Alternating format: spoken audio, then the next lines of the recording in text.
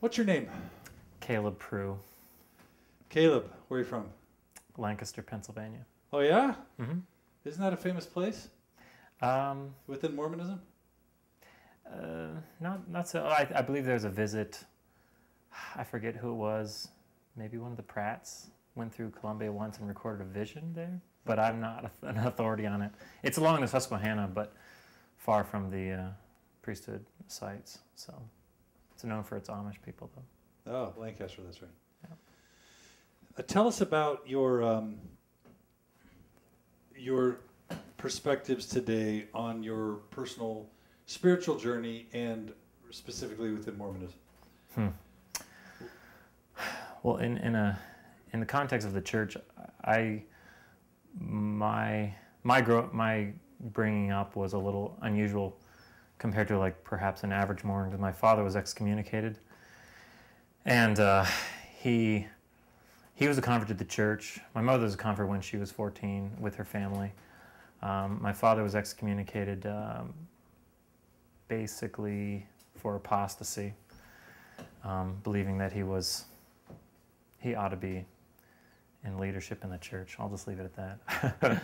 so growing up, uh, he was very angry about the church and vitriolic at, at points, and a lot of personal problems between he and my mom. He's kind of a controlling person, um, believed in a very patriarchal order, and uh, so at kind of at a young age, like I, I had I, I would hear a lot of what we typically, you know, call anti-Mormon stuff.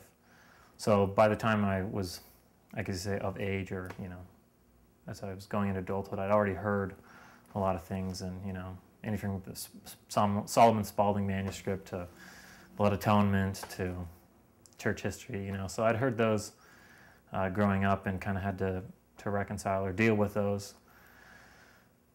as far as my personal journey um, I uh, I went I uh, I went uh, in '99. I started at BYU, and um, I also must add that I'm, I'm from a. Um, my dad's family was uh, good Catholic Democrat family, so we grew up liberal, which is always like we viewed as something that set us apart from from other Mormons, even back east. Um, so I always kind of felt different from mainstream Mormonism, and that was pretty apparent when I came out to BYU. And then uh, uh, when the Iraq War started, and I, I bring up the story because I, I, feel it's kind of central to to who I am. But when the Iraq War started in 03, I believe, um, I kind of did attempted some anti-war uh, uh, organizing on campus because I felt like the issue, the whether we should whether we should go to war or not, wasn't really being talked about, and um, I wasn't very successful in, in, really starting a dialogue on campus um, for a variety of reasons. So I really kind of bumped up against uh, provincial, closed-minded uh, attitudes that a lot of uh, conservative Mormons have, and I felt a lot of uh, hate. Honestly, a lot of hate directed towards me from the BYU community and the Utah community at large. And uh, subsequently left BYU um, after I had been arrested in civil disobedience up in Salt Lake. And uh, it was rather big news, at least in Utah. Most people have forgotten about it now. But that, for me, was a big challenge because I, although I wouldn't say my testimony was very deep at that time, uh, I really did have to, like, I did have to emotionally process a lot of feelings of bitterness towards um, Mormons in general. And uh, subsequently went on my mission. I went on my mission late when I was 23 and served in Nevada, Las Vegas. And that was a, before my mission, I had a crisis of faith, um, realizing that I had not really gained as strong of a testimony as I needed to go on a mission to really teach the gospel, to preach it, and uh, which I think is a little different than teaching.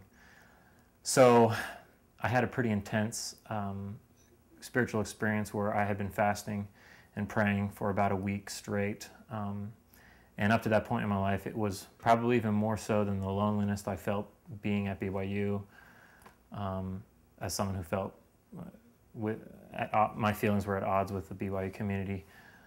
This was even more so because it had to do with like my own spiritual well-being, and I, it was like the darkest spiritual point in my life, life up to that point.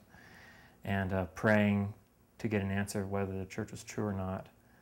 Really, whether there was a God or not. Um, I think it was a culmination of a long process of being lost spiritually, and uh, got a got a witness of the Spirit at state conference um, that was pretty dramatic for me, which sustained me throughout my mission, and uh, my mission was a very rewarding experience. And there was a point, uh, there was a point on my mission where I, I know it sounds bad, but I really didn't care if the church was true or not, or the doctrines were true, because it made me being a missionary and believing because I, I, think a lot of belief is choice there's a lot of choice involved in belief believing and, and being a missionary made me the happiest that I've ever been in my life because it gave me like purpose and direction.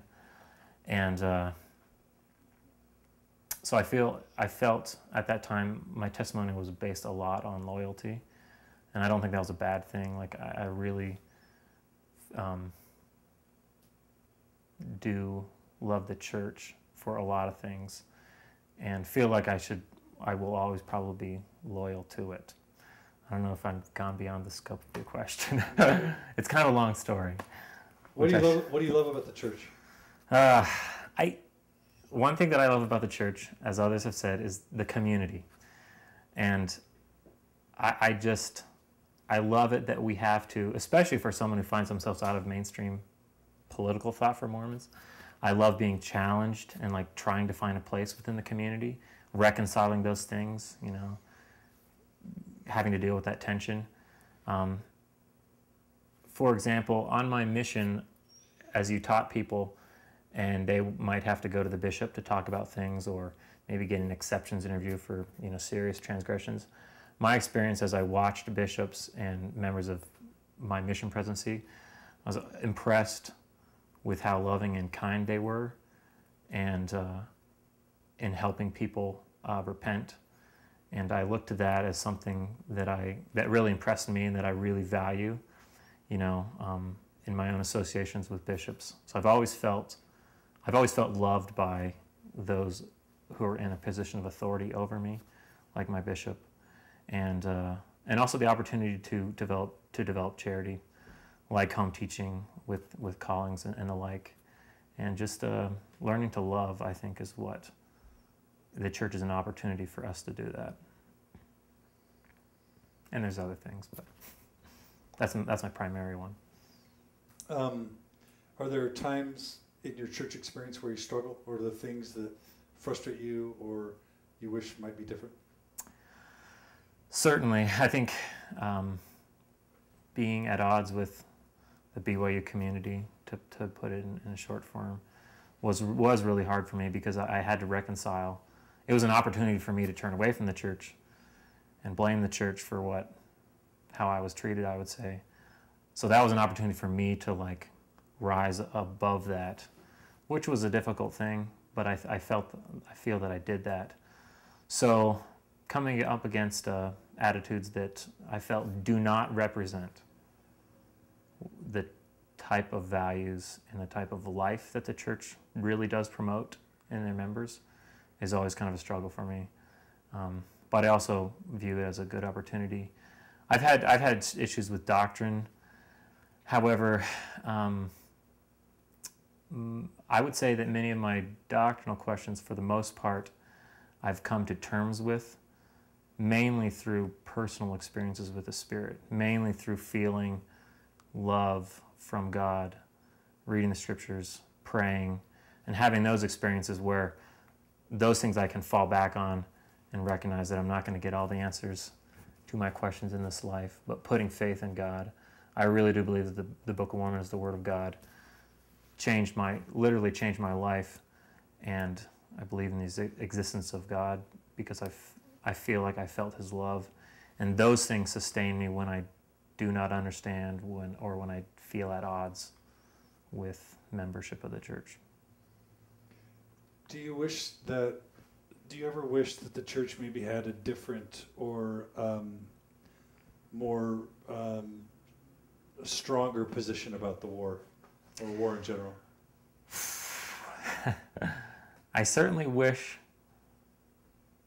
that they could perhaps be in a position to strongly oppose the war. I perhaps would say that they may not feel themselves in that type of position, that they have that luxury. Um, it really depends on what you view the church's role as.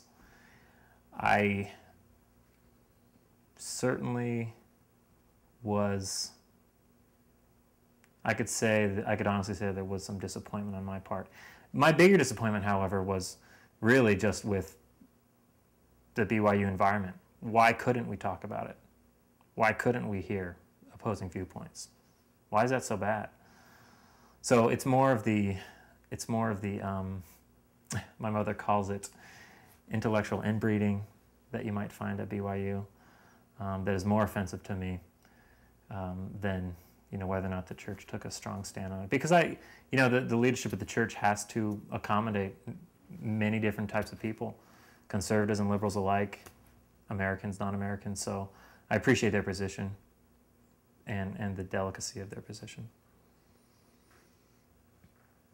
so when you think about your your personal spiritual creed what are sort of the pillars or the tenets of it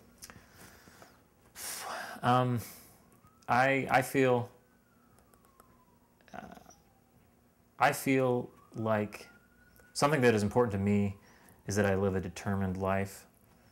Um, one of my big determinations now, and this has developed only recently, is uh, to to always be, always throughout my life, be committed to progress personally, spiritually, coming closer to God.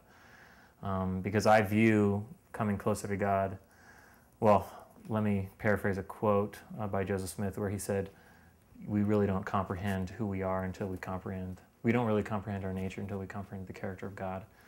So I see that as the, the path of knowing oneself is, is literally the path of coming to God because I believe He can show you who you really are. And, uh, and I've had experiences where I feel like that. I, I do also believe in tension, um, to borrow Ashley, uh, Ashley Sandra's phrase, um, choosing of word. I, I, I I relish being uncomfortable um, uh, because it spurs me on. And as far as uh, certain values of the church, or from, particularly from the scriptures, I like the focus on developing charity and love and becoming committed towards God and towards others and uh, learning to love them as God does. So I guess that would, that would constitute my creed right now.